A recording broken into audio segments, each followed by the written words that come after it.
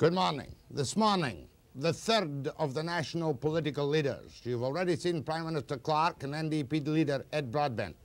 Today, Pierre Trudeau, leader of the Liberal Party, former Prime Minister of Canada.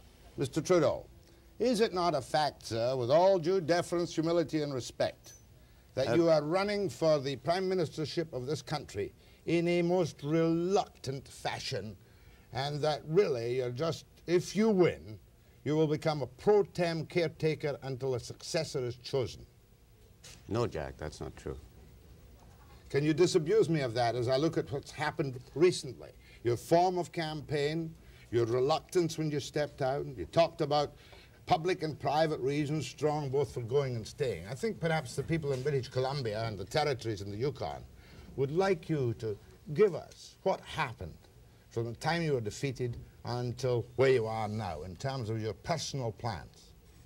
Well, Jack, that's quite easy. In uh, the fall, I decided I would retire, 23rd of November to be precise. Uh, I asked for the party to call a leadership uh, convention so my successor could be chosen. And uh, my caucus said, well, we're sorry to see you go, but uh, we'll do that. But what happens if there's an election before we have time to have a leadership convention? Would you come back? And I said I wouldn't come back easily. I'd come back if I were asked three times on bended knee, is the amusing form I put it in, and uh, indicating that I'd be very reluctant to come back.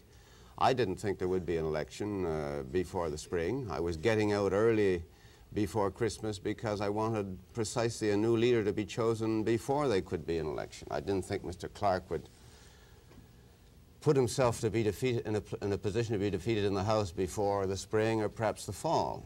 Um, nobody knew then that uh, he would come in on a budget which uh, all the opposition parties will unite to defeat.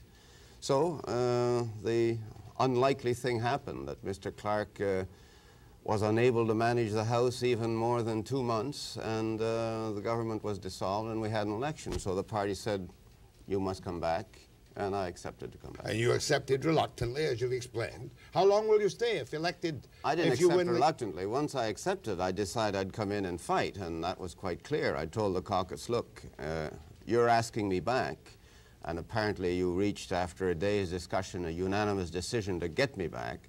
Okay, I'll come back if you fight and if we're in this one together. And I said, uh, you know, I'll run this election on your coattails because you are the party. You are the people who are going to have to put the program together. I will lead you, but I, want, I don't want a reluctant army. I'll come back. Uh, I'll hopefully set things right again. I'll undo some of the wrong things that the Tories have been doing. And then you can have another leadership convention because this is my last election. The, does that mean, sir, that you will sit if you win? Let's put it this way. If the polls are correct, even though you only have one seat west of Manitoba, you will win the election. Is that not right? I don't trust the polls, Jack. I just don't rely on them. I think we have to fight till the last day, and then we'll see what the voters want to do with, uh, with the various parties. I but, hope we will win. We're fighting to win. We're fighting to win strong. But I, I, I don't feel a fish has landed till it's in the boat. I think a fair question from the people of Canada, certainly the people of British Columbia, where your party on the face of it has no strength to win seats, maybe two at the very maximum, is if you are elected, will you remain Prime Minister for the full length of the next Parliament? Jack, I don't concede that we have no strength in British Columbia. I think the voters will give you and me the answer next Monday. But uh, judging by the quality of the candidate, judging by the size of our support, judging by the activity of our, of our uh, party people, the grassroots, I think we will have good success in British Columbia. Next will I stay? Will I stay uh, the full length? The answer is no. I'll want to have a convention before the next general election. Now, when will that be? Presumably, if we form a majority, which is something I, I obviously don't know, nor do you. That means that we'd have to have a convention sometime before four years to give the new leader time to get in there. I think that's a fair answer. Back to Clark, though, um, or back to your role in the defeat of Clark. From this distance on the West Coast, relying on the Eastern media mafia, in whom I don't put great faith, It would seem that the defeat of the Clark government was more or less accidental. In fact, and the accusation has been made by some national people that you were protected from the wishes of some of your senior cabinet colleagues and that there was a little bit of a conspiracy to keep you in the dark and create this quick defeat. Can you answer those charges? Oh, yes, quite, quite, uh, quite simply. Uh, many people uh, in the party and some people in the caucus didn't want uh, to defeat the government. I personally wasn't anxious to defeat the government. When we were that afternoon deciding that as a party we would vote against the budget, I honestly didn't think the government would go down to defeat.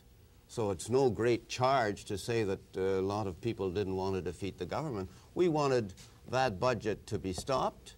We wanted to go on record as it being an unfair, unjust budget which was hitting the middle and low income people with an 18 cents excise tax which was not going to provide any energy security but merely permit the conservatives to come forth with their mortgage program. So uh, we wanted to go on record in being against that budget, but I was convinced that the Tories in some way would get, the, as they had in the previous vote of non-confidence, would get the créditistes to support them. I mean, that's what you do when you're You- a minority government. You would have made a deal with the creditist, wouldn't you? If you had been in that position. If I was a, a government leading a minority government, as was the case in 72, 74, I would realize that I don't speak for a majority of Canadians. And I would try and govern with the support of a majority of Canadians, which means getting the support of a majority of the people in the House. And that's what we did between 72 and 74. Sometimes Mr. Stanfield's party would support me, sometimes Mr. Lewis's party would. Mr. Pearson did the same thing when he had a minority government. You can't pretend that you represent a majority of the people when you don't, and that's what Mr. Clark, I think in his arrogance, tried to do. Arrogance or stupidity, lack of experience, bumbling incompetent have been the phrases used by your Liberal candidates and by some of the media people. I don't know any, any hypotheses will not be answered except by Mr. Clark. What I think happened is that they believed that the Liberals wouldn't dare go into uh, a, a, a strong vote against the budget because we were leaderless after all. We were in a convention. We were going to have a leadership convention, which meant that for the next couple of months, uh, various liberals would have been fighting against each other, pr producing different programs, contradicting each other as to what was right for the party. And Mr. Clark or his troops probably made a gamble. The leaders in this weakened state will never dare bring down the government. And if they do, we'll lick the pants off them because they're going to be fighting for the next month or two. isn't it an, hasn't this not been an appallingly low-level campaign, Mr. Trudeau, as we have seen it? Shall I give you a couple of points? Yes, please give me a couple of points. It seems to be entirely on image and style. Uh, Clark is a wimp. You call all kinds of horrible things. You're the shadow. You're hiding. You won't speak to regional press. You won't do this and that. You've been programmed by Keith Davey. I'm quoting accurately. The wimp and the shadow programmed by Davey. And the election will be won, will it not, sir? Not on a question of programs, but on image and style. Well, if it is fought on that basis, it's because you and the media are putting it on that basis. I have discussed the issues. I've discussed the budget. I've discussed Petro-Canada. I've discussed the foothills. I've discussed uh, the Port of Vancouver. I've discussed uh, the increase in the guaranteed income supplement. The media, you are saying, well, we're, we're going to make a personality fight. And from the outset, I said, this isn't a personality This fight. is a team. Not only this is a team, but this is a campaign I want to see fought on issues. Remember the last But you campaign- lost your team. How do you mean I lost my team? Oh, team? do we have Art to Phillips? I'm talking Peter about Pearce? your senior Gordon team. Gibson? Your senior team. Oh, you sir. mean you mean those that you were calling dinosaurs when they were in the team? Not You know, necessarily me, that's, sir, that's you and the, that's you in the media. When we have uh, when we have a great a great cabinet, you say, oh, these are all old men and women. They should be replaced by some of the younger people. When the old men and women, so-called, you know, younger than you and me probably, Faulkner. decide that they're not going to run again, uh, you say, oh, you've lost the best men. Why don't you say they're the best men when they're in the team rather than wait till they've retired? You know, I bet you said some nice things about me, Jack, when I retired. Oh, I was gracious Well, beyond well, belief. Well, say them now this morning. Just let me ask you one now. sharp question, sir, and you give me a short, sharp answer. And this demonstrates your lack of team, perhaps, sir, to viewers. Why is Donald MacDonald not running in this campaign, your obvious heir apparent? Well, he came out of politics about two years ago saying that he was going back to his family and he wanted to practice law and bring up his kids. Why should he change his mind now in this campaign? Because he made very sound, very loud noises about going for the leadership if you had, in fact, uh, not come back. Well, so did so did other people. The Turner, he's not your heir apparent, is he? Well, I don't know what you think, Jack, but uh, Mr. Turner has said that he wasn't going to run again. He wasn't interested in leading the party. But should so. your heir apparent not be running in this election, Donald MacDonald, sir? But you say he's my heir apparent. All I say is that the next leader to succeed me, if we form the government before four years from now, the next leader will be chosen amongst past parliamentarians or present parliamentarians. And there's a lot of good people going to be elected in this parliament. A, philosophic, a philosophical question, sir. You're the philosopher, I'm the redneck, but nevertheless, would it not be a much better way of choosing a prime minister if we went back to the old traditional system? Of the largest group in the House of Commons picking the elected MP in whom they had the most confidence. What do you call that the oldest system? I think that's the system that's uh, maybe practiced in, uh, in, well, in Britain. I think this could have been the system practiced by the, the caucus uh, if they'd wanted to. But um, our, our Constitution says that we will have delegates choose our leader, and I think that is good because it means that not only the parliamentarians will choose, but it means that all those who support the Liberal Party across the land can help choose the next Doesn't leader. it fall and into... I think that is much better in a country like Canada, which is so broad. I was going to say, doesn't that fall into the American pattern that you have to pick a man regardless of worth because of his, because you must have someone you can merchandise? Well, in this particular case, it seems that uh, redneck or not, you have the best of all worlds because the caucus itself picked me. And then it was only a couple of days later that the federation representing the grassroots roots got together and decided that they too would want me to lead the party again. So here we are. And I was elected by anyway. a convention in 68, and this time I'm chosen by the caucus and the federation just as you wish it should be. How about some issues? If you That'd have, be if nice. you really have a liberal platform, that'd be nice. We'd get away from personalities and start talking about the subjects. Mr. Trudeau, after the break.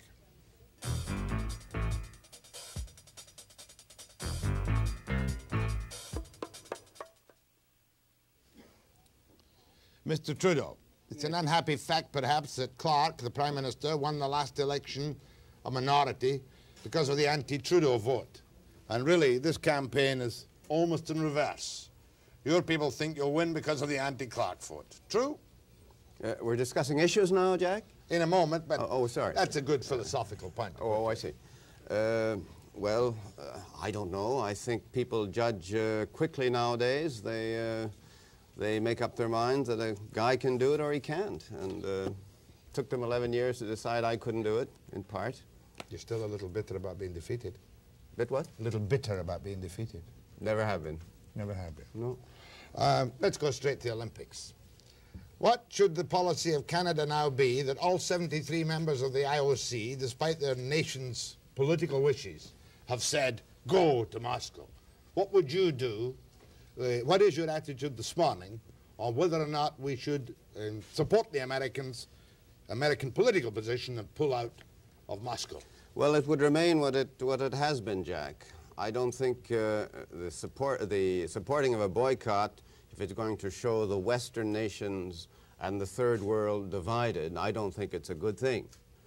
I think that this kind of a symbolic gesture of boycotting the Olympics uh, is only effective if it shows that there is a massive participation by not only the Western nations, by a lot of the third world nations. So you think Otherwise, Moscow scores a propaganda victory, as it probably will this morning by saying that uh, uh, all the Olympic committees of every nation wanted to go along. And they'll say, you see, uh, a, few, a few countries, a few capitalist countries, uh, because they knew they were going to lose the game, uh, didn't want to come. But all those countries who believe in the rights of man, all those third world countries, Africa, Asian, Caribbean, and so on, they're all with us. And that's a bad result. After all, boycotting the Olympics is not for the pleasure of keeping some athletes uh, away from the games.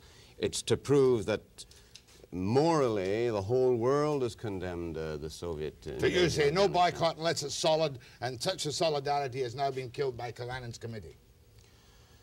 Well, uh, it will depend on how the various uh, governments re react. But uh, obviously, this uh, this committee, this decision of the uh, International Olympic Committee, has shown that uh, the boycott is not going to be unanimous. And if it's, it wouldn't have to be unanimous. But if it's not, I repeat, massive, it won't be effective because the games will go on anyhow. The Soviet people will see a lot of African nations, a lot of Caribbean nations there, and they'll say, well, of course the United States didn't come, but they're a bunch of capitalists and they couldn't win the games anyhow. Mr. Trudeau, tankers on the West Coast. And I'll try and refresh your memory, first of all. The one Liberal MP who fought against tankers on the West Coast, like Canada's Ralph Nader, Nader was David Anderson. He was banished to the West Coast because you people didn't like what he was doing in Washington. That's not so, Jack. Is that not a correct historical fact? No, it's not a historical fact. He was an active member of our caucus. Uh, he had great input into the caucus. He didn't convince anybody, everybody he was right, but he didn't convince the electors of British Columbia that he was right. He wasn't elected in the next election. In the provincial so government? no, no, I'm talking federally. He was defeated. Does that mean that the people of the West Coast uh, didn't want uh, tankers to stay away because they defeated him? Sir, we Of course not. It means that there's a lot of issues which are, which are put together. But who has really done anything to attempt to stop tankers in the West Coast? We have many big tankers now. Admittedly, they're out, they're not coming in the Straits of Juan de Fuca, but they will. Now, did your government really do anything to bring a land route for oil Yes, for oil, you're quite correct. Did you say? Of course we did. When the United States in February of last year said, okay, our administration before the end of this year has to decide whether we're going to bring the oil down the west coast into the northern tier, whether we're going to bring it down the west coast across the, uh, the Rockies in Canada, or whether we're going to bring it down the uh, Yukon and northern British Columbia and, and Alberta. This is going to be our decision before the end of the year. What do you Canadians say? What is your input? Our government very firmly said it must be the foothills route. It must be through the Yukon and Canada because we don't want tankers. We made that position clear last April. I made it clear here out in the West at the Petroleum Club in Calgary. And that has been our position. Now, an election was uh, held on the 22nd of May. Mr. Clark's government dithered all through the summer. Mr. Hnatyshyn, as Minister of Energy, was being pressed by us to reaffirm his commitment to that land route so there wouldn't be tankers. And Mr. Hnatyshyn was saying to the CBC as late as the end of August, well, I won't be bullied into this. I won't be stampeded. I want to look at the various alternatives. So that the whole summer went through without the United States government knowing that the new Canadian government was supporting our view. It's only on the Foothills withdrew, sir, and you also lost the battle, though, didn't you? Foothills withdrew. We didn't lose any battle. We weren't the government. You know, if we had been the government, I can tell you that the battle would have probably gone the other directions. And Foothills withdrew because, obviously, as we know now, Mr. Clark was supporting the Trans Mountain route. And that became evident sometime in November or December.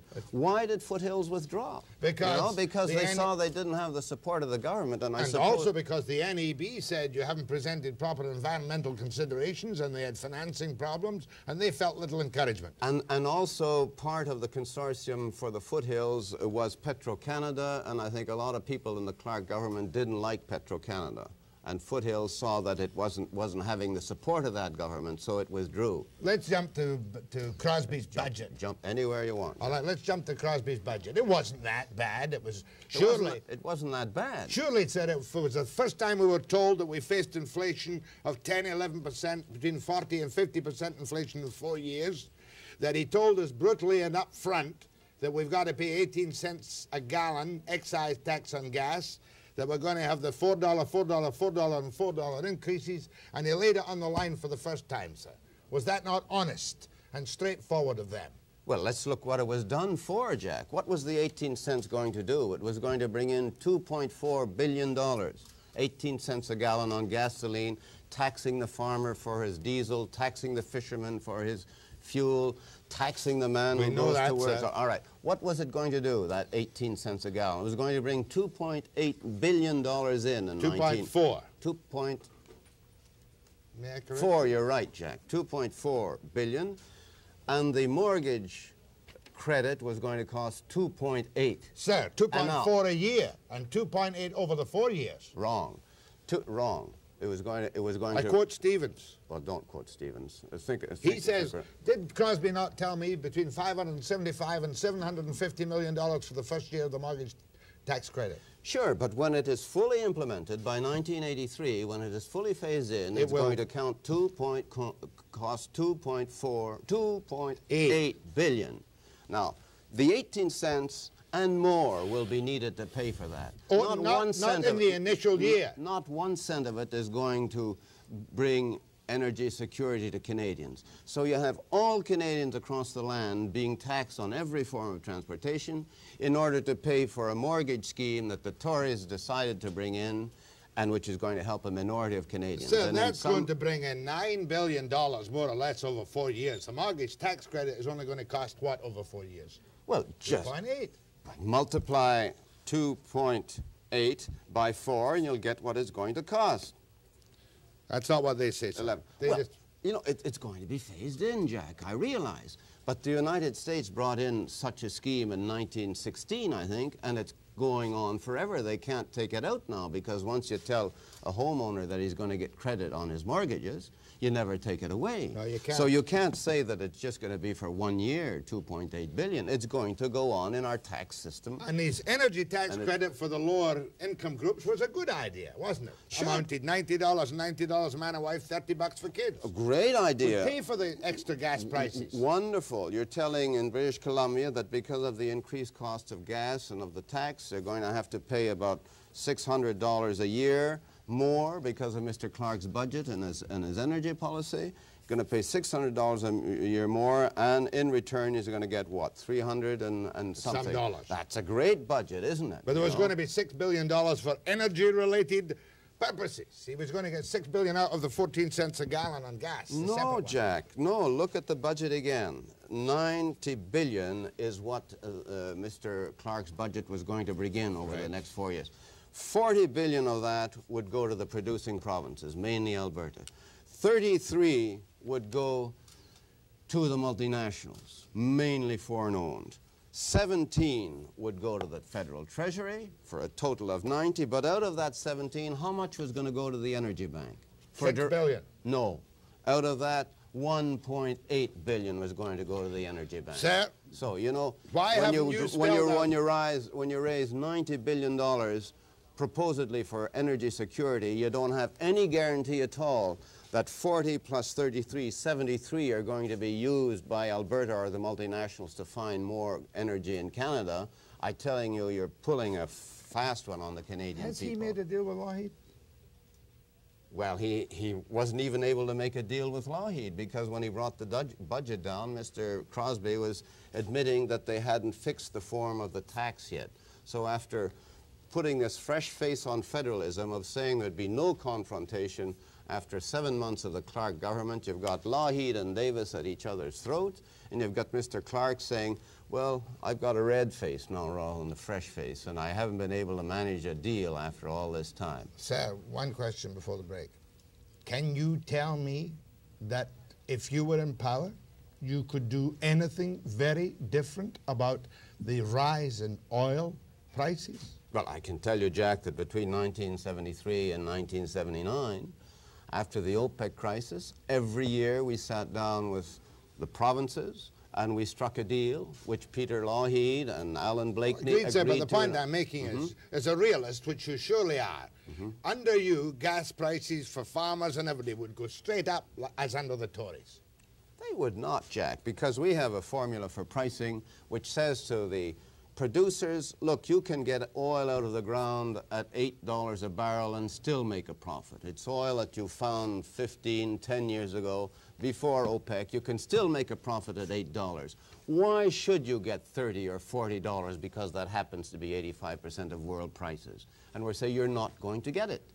It's as simple as that. So Would there's you- no reason to make the farmer who's a Canadian and the fisherman who's a Canadian and the commuter who's a Canadian pay world prices for a natural resource which is in Canada and which can be produced at a profit at 8 or 10 dollars. Have you any plans to tax the undoubted massive windfall profits in the years ahead of these multinationals? Well, I'm telling you, with our, for, with our formula, there perhaps won't be uh, very great windfall profits because if they're getting $30 a, a barrel, say, under Mr. Clark's formula, and they're only getting 8 a barrel under our formula, they're not going to be great windfall profits. And that's why Mr. Armstrong, the president of Imperial Oil, has been making a conference saying this is a terrible uh, scheme that the Liberals are proposed. Of course it's a terrible scheme. The money's going to remain in pockets of the consumer rather than go to Exxon.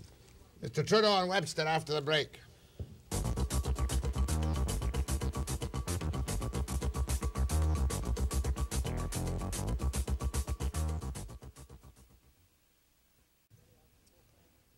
Flora MacDonald has been very outspoken that draft dodgers in any crisis in the United States would go to the bottom of the immigration list for Canada. Do you endorse those sentiments? I don't know what, it, what they mean, Jack, quite frankly. What does the bottom of the list mean? We have an immigration system. We give points for, for health, for uh, family relations. We have give points for your ability to find a job. And you don't put them at the bottom of the list. Anybody who wants to immigrate to Canada, we have no quota system. We don't have it for the blacks. We don't have it for the Americans.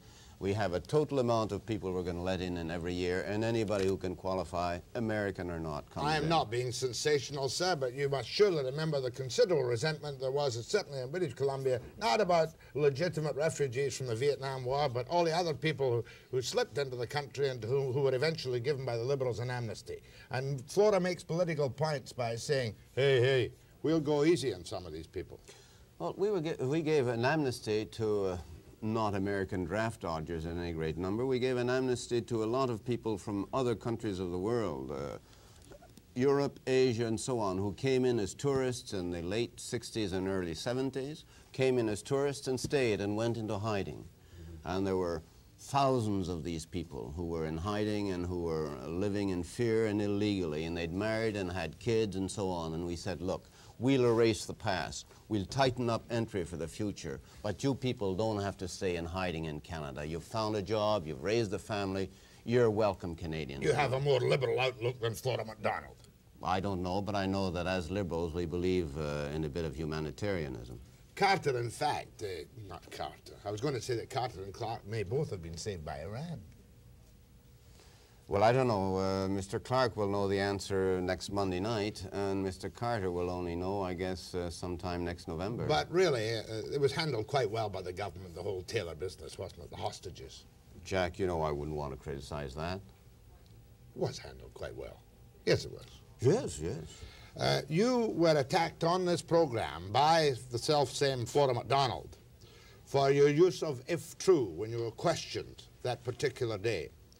And she said that you were well aware of all the facts and indicated that your if true reference really was putting a tongue in cheek unfairly when in fact you knew everything was true. I knew, I knew of the hostages and I knew that they had been smuggled out. The reason I said if true is that it had not been announced by the government. I think it had been leaked a lot of places as is now obvious, but I didn't know that.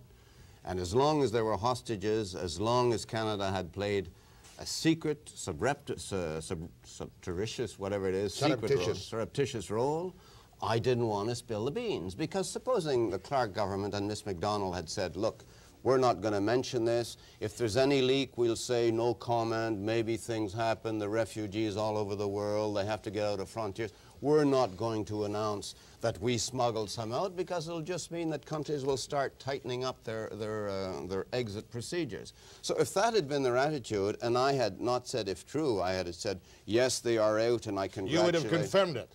I would have Improperly, spilt, I would have spilt the beans, and I wasn't intending to spill the beans. Once the government said it, then I withdraw the if true. It is true, and I'm happy that it happened.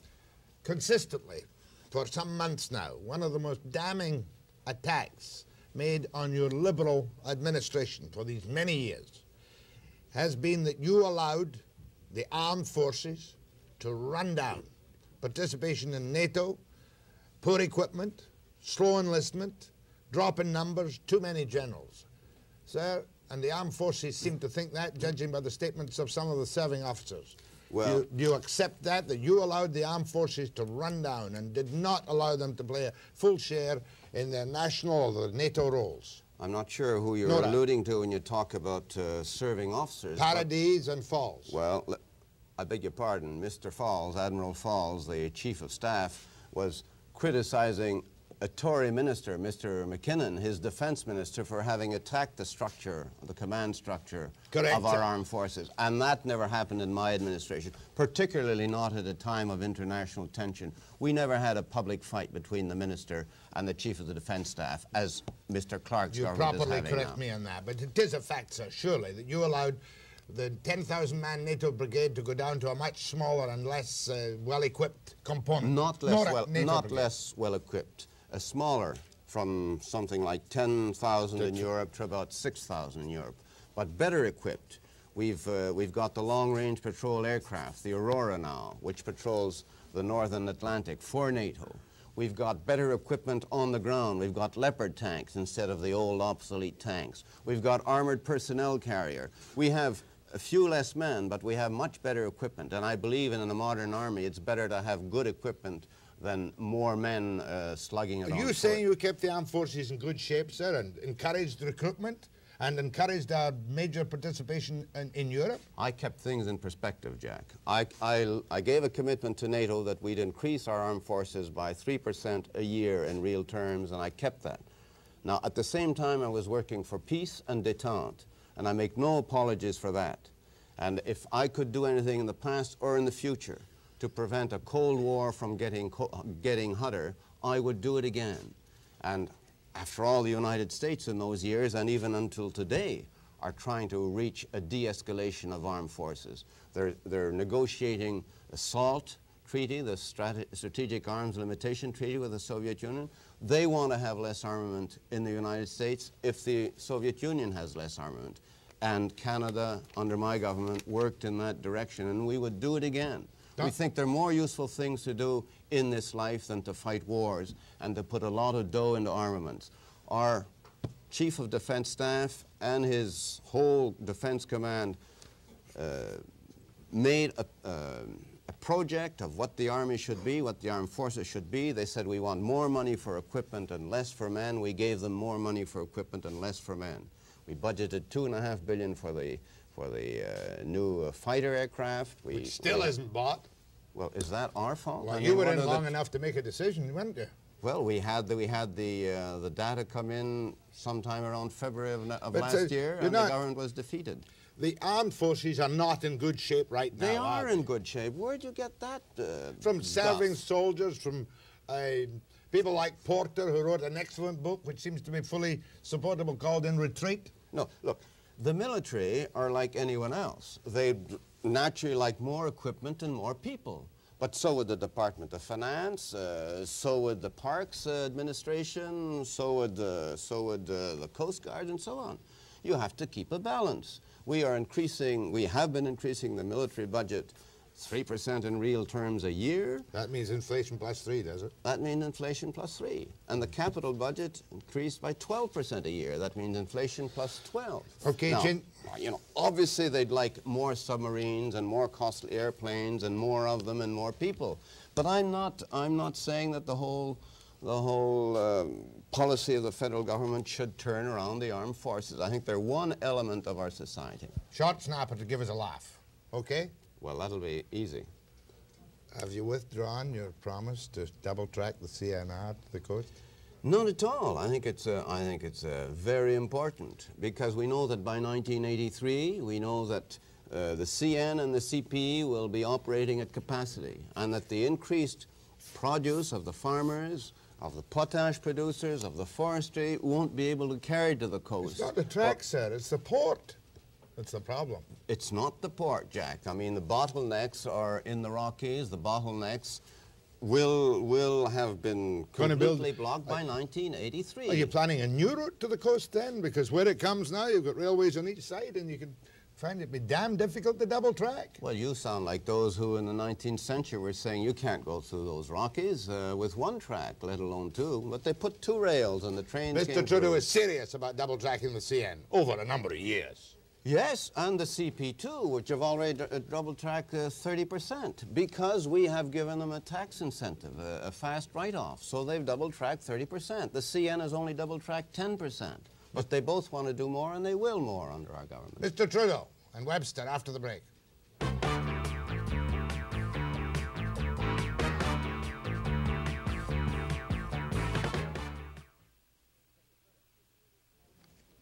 Mr. Trudeau, uh, one simple, straightforward promise you've made is to old age pensioners. Could you please repeat it?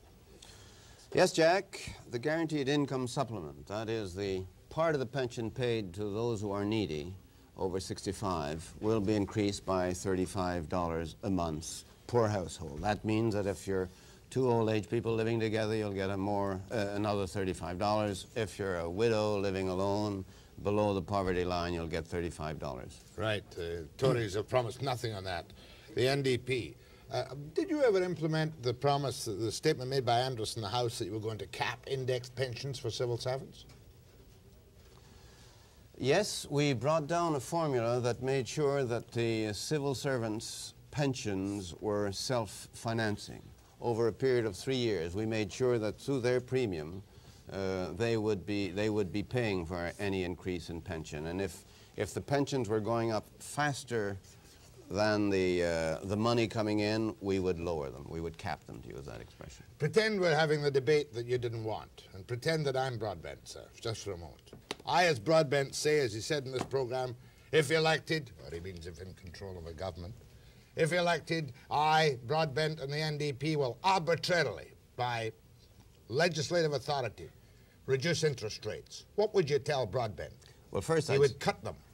Well, I'd say that the debate I didn't want was not with Broadbent being you. You know, I'll do this anytime with you, Jack. I think when we reach uh, 200 or a quarter of a million people, I think that's, that's the kind of interview I like. I've had 12 in this interviews in this campaign as against 10 in the last. So what would I say to Mr. Broadbent? I say you can't legislate interest rates down unless you're prepared to put exchange controls on or unless you're prepared to see the Canadian dollar fall uh, into a bottomless pit. And I'd say that is not our choice. And uh, first of all, you'll never be the government, so you don't have to uh, live up to that promise. But you can't legislate interest rates unless you control the whole economy. Interest rates are set by the market according to all, supply and demand. Of, Right, of- and of if savings. Mr. Broadbent is pulling on your coattails and you are a minority Liberal government, that's one of the entreaties to which you will not listen. Well, I don't even examine the hypotheses of being a minority government. I don't even know if I'll be the government. So I will, I will uh, look at the results next Monday. I saw you on a French television interview the other night, so day before yesterday, saying, to my astonishment, that national unity was not discussed in this campaign because you had been told that in English Canada it wasn't an issue. Is that correct? Not that I had been told uh, that it was obviously not an issue. People wanted to discuss the economy, they wanted to discuss energy. Uh, the last campaign, you'll recall, during it and the whole period leading up to it, everybody was saying the Liberals are going to try and use national unity because it's their forte in order to avoid discussing the economy. I think national unity is an extraordinarily important issue. Can we but the- apparently it's not an issue in this campaign. Can so we I'm in the West uh, rely? an issue. Sorry, sir. Can we in the West rely on Ryan's presence to keep everything copacetic in Quebec? But is there still not a grave danger with uh, Alberta and Quebec and British Columbia and Quebec that this country still suffers from a grave national crisis and who can do anything about it? I'm talking Well, about first of all, Mr. Ryan is leader of the opposition. Uh, Mr. Levesque is still the Premier of Quebec, and he's still fighting hard to bring Quebec out of Canada, and he's going to have a referendum next May or June. So, and he, he's published a, a white paper in the fall saying that he meant business. So I think that is what we have to concern ourselves with at this time. That is a clear and present danger, and we must sh- make sure that the referendum is won by the pro-Canada forces. After that, presumably there'll be an election, which I hope Mr. Ryan will win. But you know, there are several stages ahead, and I don't think we can jump to any conclusions. And Mr. Ryan will be just as difficult. No, eh? will Mr. Ryan be as difficult to deal with as Mr. Levesque? Mr. Ryan will be as difficult to deal with as Premier Bennett, uh, as Premier Lougheed, and the rest of them. Because they are provincial leaders, they want the best possible deal for their provinces. And they're going to try and get that through the Constitution. They're going to try and get that through equalization grants. They're going to try and get that by the federal government giving them jurisdiction over all kinds of things, forests, offshores, uh, and so on. I, if I become Prime Minister, I will continue to say what I said before. There has to be a voice speaking for Canada. We will not give in to the provinces every time they say boo. We will try and make sure that the people of Canada get a good, strong national government. Because what the people of Canada are interested in is not who exercises what power and who spends what dollar of their tax money. It's whether that money is well spent and whether the jurisdiction is well exercised. And I think the rest of it is, you know, fights between politicians. Yeah. You haven't really got over your famous flip-flop wage and price control, sir. That comes to mind because I was suddenly thinking you're attacking the, the Clark Crosbie budget like mad. And yet I've got the dreadful feeling that not you nor anybody else can really stop the cost of energy going up in this country. $1.90 Canadian in California, $3 Canadian in Britain, and we're paying $1.10 for gas. Jack, 70% of everything we consume in Canada is produced in Canada. It's produced at 8 or $10 a barrel. Why do you want it to go up to 40 and 50 a barrel? Like Trudeau and keep cheap gas. Is that right, sir? Not cheap gas, because cheap gas was when we paid a dollar a barrel for it, or two, or six, as I negotiated with Alberta in 1974, 650. But there's a difference between 650 and 30 and 40 and 50 dollars. Spot sales now are 45 dollars a barrel. No, that's not that's not cheap. And 12 dollars isn't cheap, but it's a heck of a lot cheaper than 45. How about some telephone calls, sir? After the break.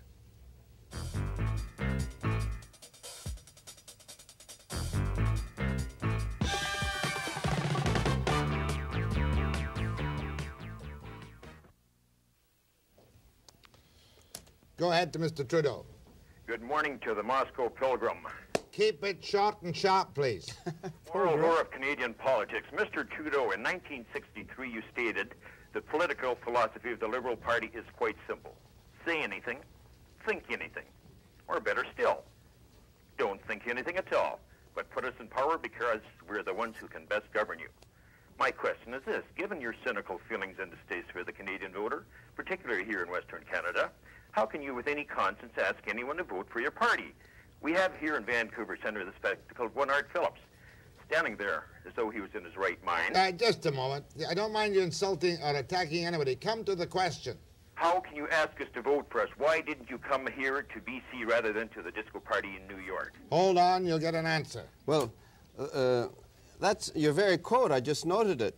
We're the ones who can best govern. After all, that is, that is the point of trying to get elected, isn't it? Those are the words I use. We're the ones, the Liberals, who can best govern. And I think that's the test that the people have to, have to answer. Who can best govern? Mr. Clark with his, uh, with his move to Jerusalem, with his uh, off and on with Petro-Canada, with his 18 cents a gallon uh, excise tax, with his changes of mind and policy on everything?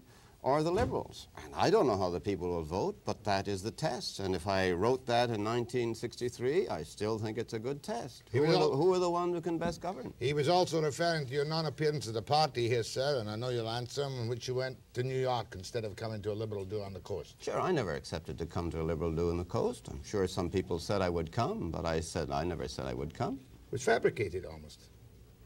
No, people hope that I'm going to be everywhere. They say I'm unpopular everywhere, but they want me to go to, to see them. And then when I say, no, I'm sorry, I'm, uh, I can't go, uh, then they say, why didn't you come? Was, uh, the only mistake you made was getting a picture in the paper in New York. Well, I guess that was a mistake. I didn't uh, pay the photographer enough, I guess. Go ahead, please. Good morning. It's a far pleasant change to see a more, a less arrogant Prime Minister, or pardon me, Pierre Trudeau, who appears to be more at peace with himself and with the world today. Thank you. I'd like to say that uh, Mr. Trudeau's idea of bringing the two-rail system across into the port of Vancouver is a fine idea, except that we have a, a problem right now with the second narrows bridge down, and there's an isthmus across the North Shore, which uh, apparently the uh, CPR has the right of way, and uh, I can't understand why it hasn't been utilized in the in the past as a railroad link to the North Shore. Yeah, the moment that bridge fell down, sir, we were in real trouble with our grain shipments because it is the only rail link at the moment across the Second Narrows. But uh, didn't uh, Clark appoint a czar, Horner, to look into these things? You never, you never appointed an overall boss in the port, did you? We had, uh, we had a minister, Mr. Otto Lang, a Westerner, in charge of, of the grains, including the transportation. He was also Minister of Transportation, and uh, that was, I think, uh, better than having a czar who was answerable to nobody. It was Is a, your a point- minister who was answering every day in the House of Commons. Is your point, Collar, that we could have a new link round the end of the Burrard Inlet? Yes, sir. Okay, we'll leave it- Deep Cove. The Thank uh, you, CPR thank has you. that right of way. but- Thank you. Go ahead, please. Well, I'm, I'm happy to hear that uh, there's a, a ready-made place to put uh, the, uh, the second track. I don't know where it would pass, quite frankly. You were saying earlier, Jack, that it would have some trouble going through one place. Perhaps the caller has given us the answer. There's where it would go through. Go ahead, please. Um, I just got a few things to say. First, I'd like to say that, um, Mr. Trudeau, I think you're doing a very terrific job, and that you should keep it up. And uh, Thank you, miss. I got another thing to say. Say it. Yeah. And does Mr. Trudeau support Carter's proposed ban of the Olympics? Well, uh, I think I, uh, sh- shortly, I was telling Jack earlier that uh, I didn't think that just if a few countries, particularly Western capitalist countries, banned the Olympics and the rest of the world went, I didn't think it was a good idea. I don't think we should have a deadline of 20th of February. I think we should make work to make the Soviets get out of Afghanistan. I don't think they'll do it being a big power as they are uh, by giving them a deadline and say by Monday morning, whatever the date is, you've got to be out. I think you've got to negotiate with them and you've got to make sure that the weight of world opinion is known to them as it was made known in the United Nations. So it's not a simple yes or no. Go ahead, please. Mr. Trudeau, Yes, ma'am. um, welcome back. Thank you. That's very nice. I'm I'm very very pleased to see that you're you're back. And uh, um, Mr. Webster, Yes. you must have a short cameraman working the lenses because Private joke. good. I insist that the camera is high to hide my jowls. When I have a low camera, Direct myself short and succinctly and precisely to Mr. Trudeau. I want to congratulate you, Mr. Trudeau, on the low profile you kept when uh, Joe Clark and Flora MacDonald flubbed on the Tehran hostage taking incident. And I, I want to compliment you on the fact that you continued to harangue him on his foreign policy, because if you had done otherwise, you certainly would have spilled the beans.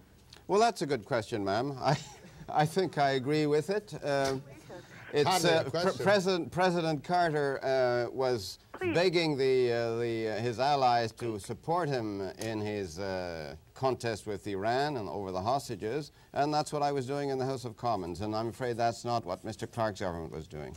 go ahead, please. Hello, Mr. Trudeau. Yes, ma'am.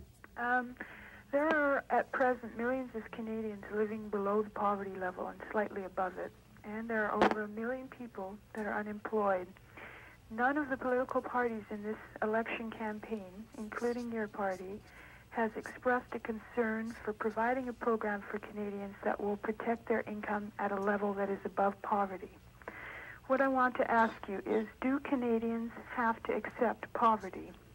And please, before you respond, don't tell me that we can't afford it, because I think it's obviously a matter of priority, whether we're concerned about, you know, the many people in this country that are living. Fair enough, ma'am. We've only got a few minutes left. Well, I, I agree with uh, the caller that it is a matter of priorities, and I think in this campaign we've indicated where our priorities were. We made one costly election promise, and that was to help people below the poverty line. When we promised to give $35 a month more under the guaranteed income supplement, it was in order to help people who are in need and over 65 to get greater assistance. Now, that's the liberal principle of helping first those who need it most.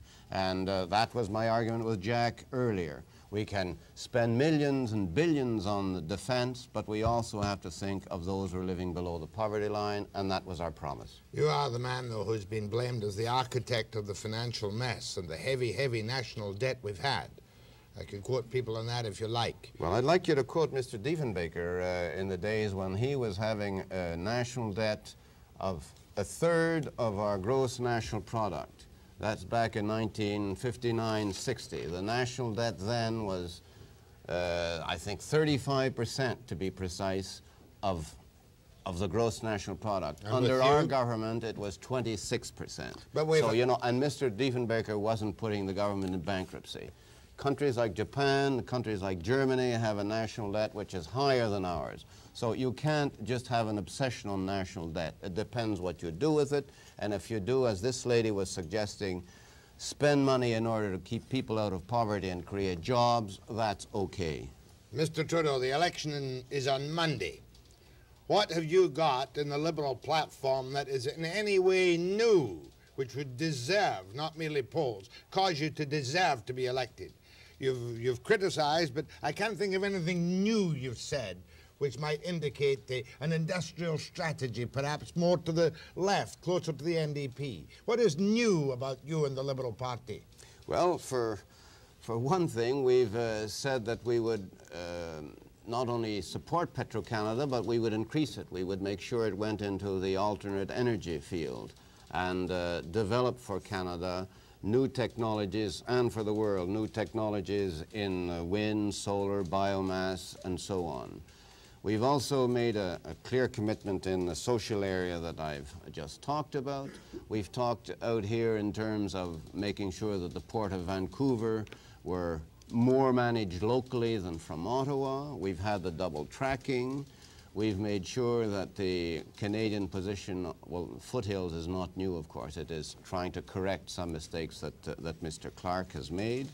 Uh, we've announced an industrial strategy just yesterday and a whole energy policy a few weeks ago, which would be very new. It would be a price made in Canada for oil, as I've explained earlier, not a price which is linked to OPEC prices, to that world cartel. So there's a lot of new things, uh, Jack. Are we not quite lucky, though? The nation is basically so healthy that it doesn't matter which minority government we might have after Monday. Well, I mean, you're expressing a value judgment there that a minority government is, uh, is good for Canada. Um, Do I- you think it would be? Look, I think it's important that, that Canada have a strong government. I'm not asking for a majority, I'm just asking for the people to vote for the government they think best. But I know that at this time, when Mr. Lougheed has a, majority government, Mr. Bennett has a majority government, or Mr. Levesque has a majority government, I think it would be nice to have in Ottawa a government which doesn't have to look right and left before it, uh, it makes a decision on anything. I think it should be as strong as Mr. Lougheed's government or Mr. Levesque's government.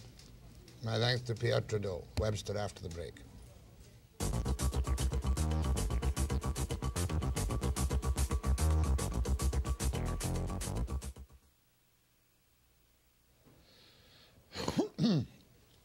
well, it was a lengthy session, wasn't it? Right at this moment, I don't remember a single word he said, except that uh, he would call a leadership convention if he forms a government and pick a successor before the end of the next parliament. So he made it crystal and brutally clear this morning, if elected, he'll become prime minister, but that he will only serve a maximum of one term. I think he made that quite clear. Oil policy, we got a little bit bogged down. I tried to get my thought across to the Prime Minister that, uh, well, I did. I said to him, are we not lucky in the fact that the country's so healthy that it, can survive either of the parties? Which unfortunately does indicate a kind of, I suppose, cynical viewpoint of many Canadians today. What else did he talk about this morning? The Olympics. Now, he was quite firm on the Olympics. He obviously thinks with, with Killanin's committee's decision of 73 countries saying go ahead with the Olympics, that unless you had uni unanimity between the Western nations and the non-aligned countries, that the game should go on. My own opinion, ugh, what does that matter?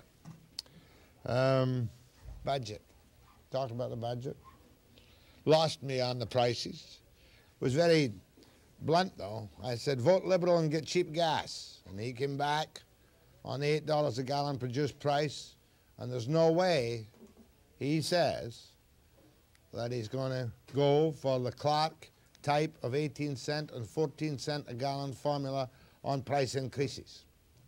That was something I think which is quite new.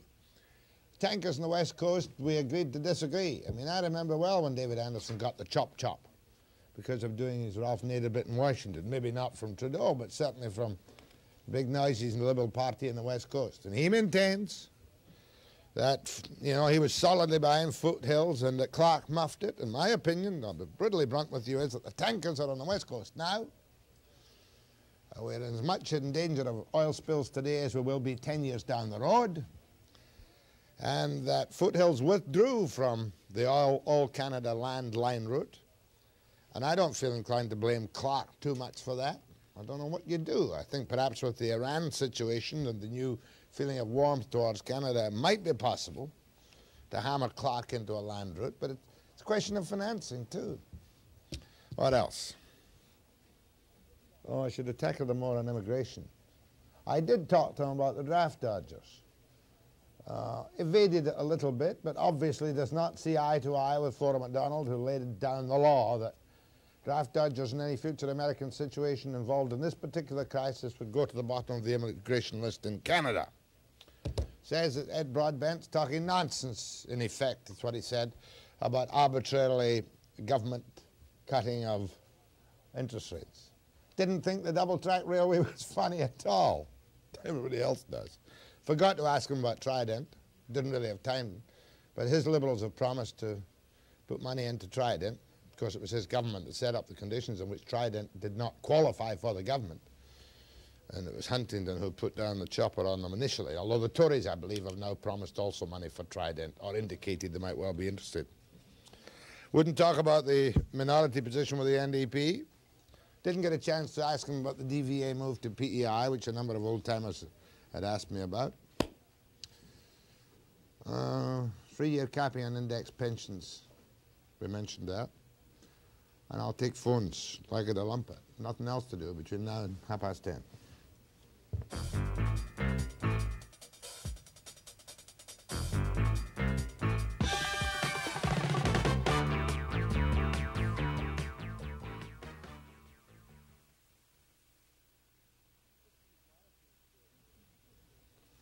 Wish Keith Morrison had stayed. Could have put him on. Keith's traveling with uh, Trudeau, you know, the CTV guy. Seems a remarkably nice fellow for, because he comes from the West originally. He's not yet a member of the Eastern Media Mafia. Go ahead, please. Good morning, Jack. Morning. Good morning. I think you had a very interesting program this morning. You've certainly made me decide who to vote for. I think old uh, Pierre is still our man. Uh, Oh, I think you got a lot of votes through your program. That's bad news. Yeah, very good, Jack. I don't like that kind of call because, uh, you know, he flew out here for the interview and you wonder, is it an insult or a compliment? No, no, I think I don't know what it is. Okay. Huh. Williams Lake. Hello, Jack. Yes, yes. Uh, Mr. Trudeau. Can't hear you. to you um, on your comment to the uh, armed forces being in good shape.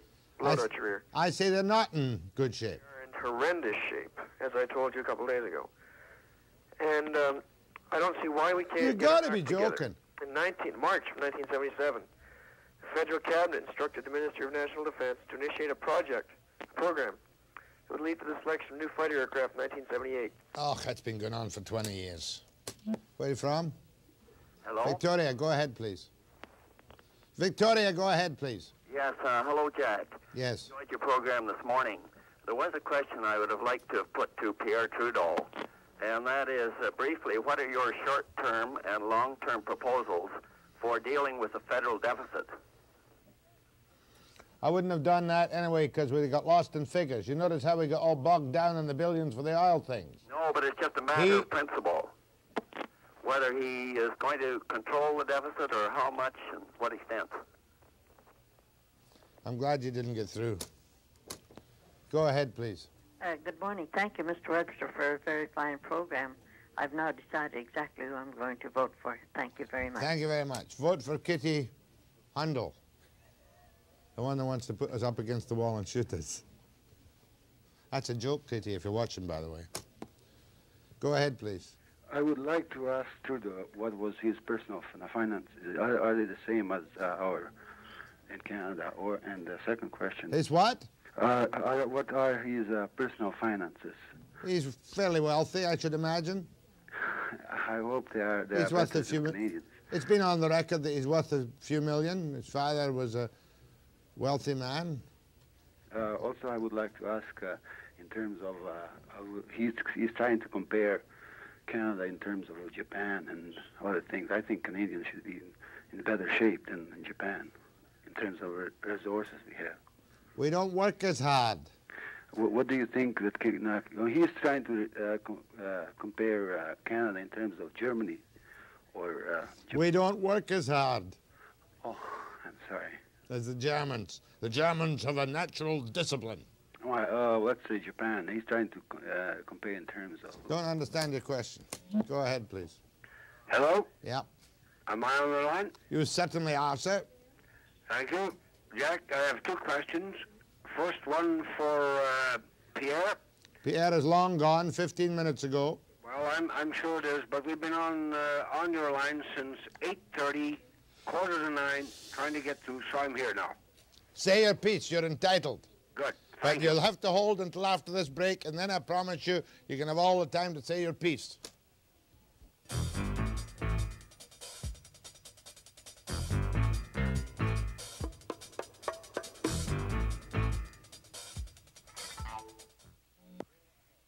Thank you for waiting, sir. Now go ahead.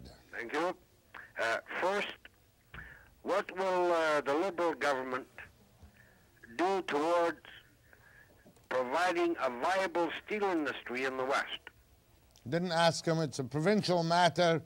Uh, Barrett talked about it for a long while. Bennett talked about it a little bit. The establishment of a steel industry is a provincial matter.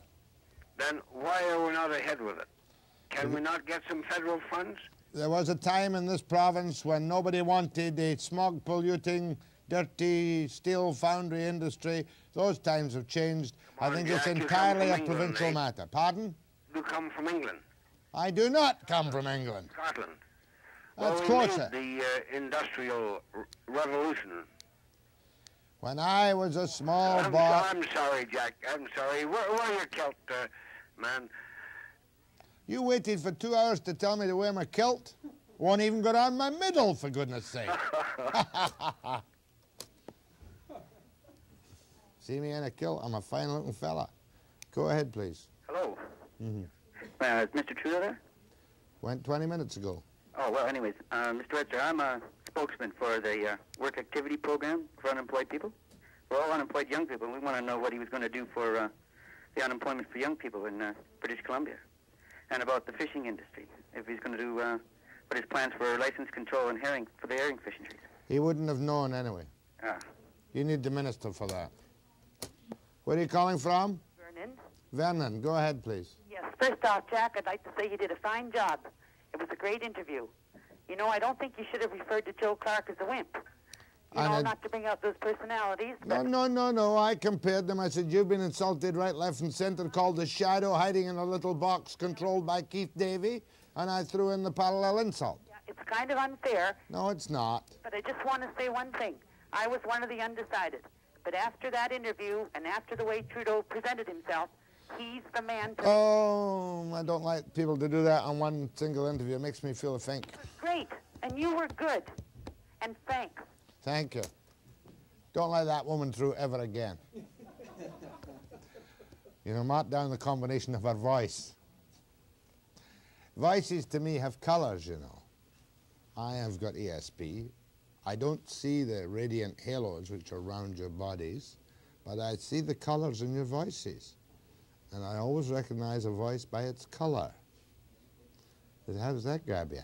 Eh? By the way, did you read that story about Winston Churchill Jr. and, and Saragashi and the ghost? Eh? You gotta pick up. Where did I read that? Globe and Mail yesterday. For those who like juicy sensation. You gotta read about Winston's grandson. Oh my God.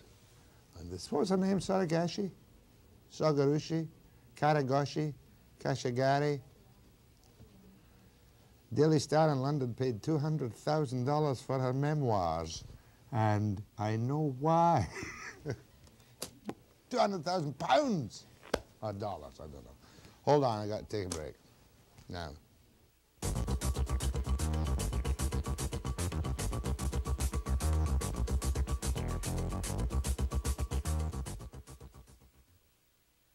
Oh, Prince George.